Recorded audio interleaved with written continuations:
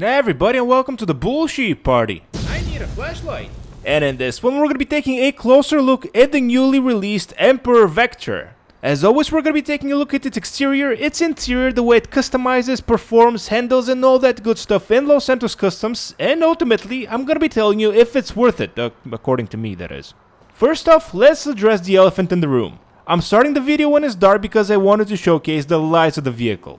Other than that, this is the 360 rounded and it should be mentioned that the vehicle new costs $1.8 million. It should also be mentioned that it's a two-seater, so only you and a buddy can sit in it.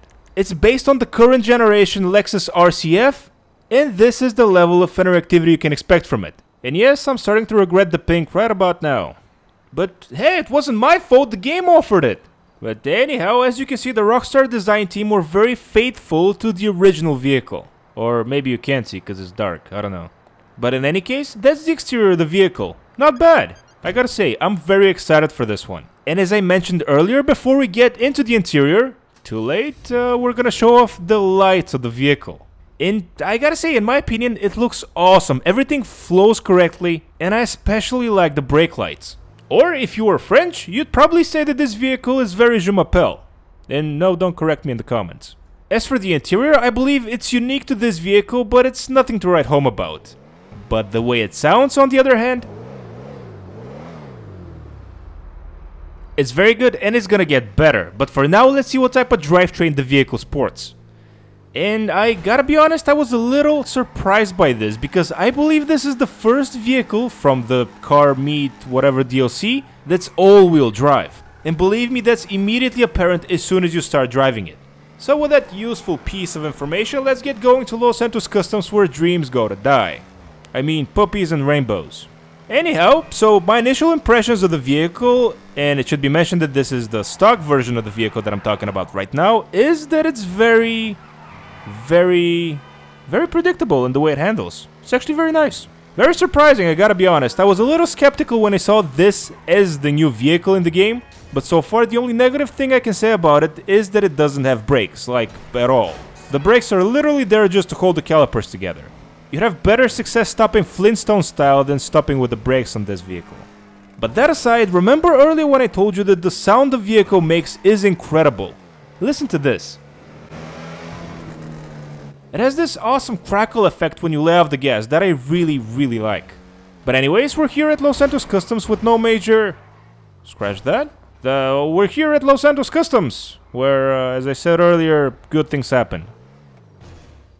And here we are, finally in Los Santos Customs, and it should be mentioned that the Vectre is a part of the sports car class category in GT Online. Did I say that right? Nah, who cares. And, as always, the first thing I'm gonna do is upgrade all the performance options up front, except for the armor, because I don't do that. And this is gonna allow me two things. First off, to skim over all the customization options and see what I'm in for. And secondly, to make sure that I don't forget anything at the end in terms of performance. And here we are. Here are all the choices you have for a front bumper for the Vectre. And that I already apologize for making the vehicle pink. Well, I'm sorry. But anyway, let's go to the rear bumper options, where we see more pink and more options. But all in all, I'm really happy with what I'm seeing so far. And I have to say, all the vehicles that I've seen so far that have come out from the DLC have been at least decent. And just like every other vehicle that came out from the DLC except for the Porsche, you can customize the look of your engine. And again, I'm sorry for the pink. And as far as I can tell, all vehicles share the same customization options when it comes to customizing the engine. And the same can be said about the braces. I believe they're pretty much the same. And also kinda useless and pointless. But I'm getting off topic here. The next thing we're gonna choose for this vehicle is the new exhaust. And oh my god, we have a limited uh, number of exhaust options, which is kind of disappointing. But uh, hey, beggars can't be choosers and I'm definitely a beggar. So moving on, and these are all the fender options that you can choose from. You can choose between ugly, stupid, and unpractical. So you guys know me, I chose stupid. And speaking of stupid, you can make your card completely useless in the dark by deleting its headlights. Now, despite what you think of me, I didn't do that. I made my rainbowy and nice and shiny. And the hood latches or accessories are another thing that I believe is shared among all other vehicles in the DLC. Or at least that's been my observation. Now the hood options are of course unique to this vehicle. And I gotta say, I was pretty bummed out that I didn't have a transparent hood for this particular one. And yes, I know, I always have something to complain about, but this is what doing a review actually entails. Right? Ooh, and speaking of complaining, this is the interior customization mods that you can put on your vehicle. Also known as burning money. Also known as flushing money down the toilet. Also known as... Uh, you know what, you get the point. And the seats, I believe, are another thing that's shared among all other vehicles in the DLC. They're the same for each one of them. And I believe it's the same for the stupid steering wheel. I mean, for the steering wheel. And if you couldn't tell by now, I'm not a big fan of this customization, but I understand why it's here. People want to showcase their cars, they want to make them unique, they want to go to car shows and all that stuff. And oh my god, I can put a purple roll cage in mine. Once again, guys, I'm very sorry that I chose pink. Wait, did I just call it purple a second ago? I'm stupid.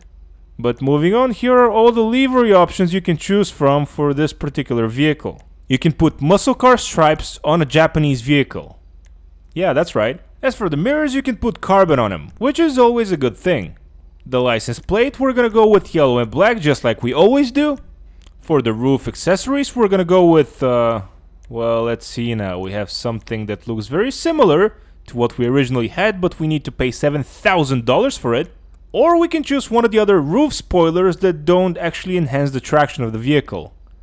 Interesting. What to do, what to do. Well, I'll tell you what, I'm gonna put a carbon antenna on my vehicle, just cause I like the look of it. And if you couldn't tell, I only had one coffee today. But don't worry, I'm gonna drink a second one before the next video, which is gonna be the podium vehicle. And if I don't forget, I'm gonna link it right here if you wanna watch it. Or if I forget to link it, go to my channel and watch the new podium vehicle video. But back to this vehicle and this video. The next and one of the final customization options we're gonna tackle is the splitter option.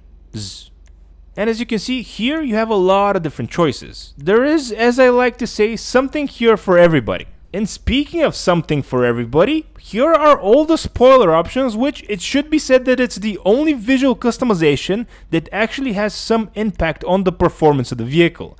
It actually increases the traction just by a tiny bit if you select anything other than the stock option. Sun strips, stupid and pink. The suspension is kind of interesting because the car is already really low and oh my god I'm gonna ruin this vehicle. But uh, it's already pink so who cares? And uh, I kind of like the wheels so I think I'm gonna be keeping those for the time being. Which means the last thing before respraying the vehicle finally is gonna be changing the window tint. And I'm sorry to Lexus fans all around the world, I kinda ruined this one. Not with the color per se, but with pretty much everything. But uh, speaking of color, the color I chose for this was uh, an orangey one. I think. I don't really remember even though I shot the video like 10 minutes ago. Yeah, there we go, sunset red or orange or whatever. As for the secondary color, we're gonna go with something classy. Very classy. Yellow. And you guys should be grateful that I didn't change the rims because otherwise they'd be yellow as well. You're welcome. And of course I'm gonna change the interior color to match the secondary color. I don't need the dials on the dashboard to be a new color so I'm not gonna do anything with the accent color. So we're done. And here we are, finally outside, and it's finally daytime. And we can finally admire at our Lexus. Okay, I can't say that with a straight face, I'm, I'm really sorry. And in case you're wondering, yes, the vehicle still has all-wheel drive.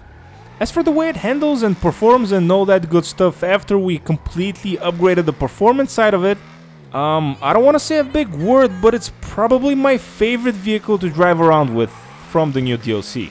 Even though the engine doesn't sound as nearly as nice as it did before, everything, brakes, top speed, handling, acceleration is much, much better. And keep in mind, this car was no slouch before.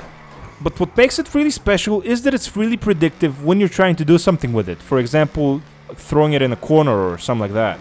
It just behaves the way you'd expect it to behave. And that's probably due to the fact that it's an all-wheel drive vehicle. Now, when it comes to money, it costs a pretty penny.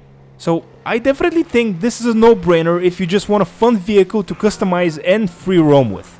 The customization was on point and the way the vehicle handles is just way too much fun. On the other hand, if you're looking for a vehicle to race with, I don't know if this is gonna be the best one for you, since it just came out and I don't know how it compares against other vehicles. But for free roaming, role playing and just having fun with it, I totally recommend it. It's totally worth it in my opinion. Just don't make it pink. And uh, with that, I think it's time to be ending this one. Thank you so much to everybody that watched. Hopefully, you liked what you saw. If that's the case, please don't forget to leave a like and subscribe if you're new to the channel. And with all that, I'll be catching you all in the next one. Huh, funny thing, I don't remember where I parked.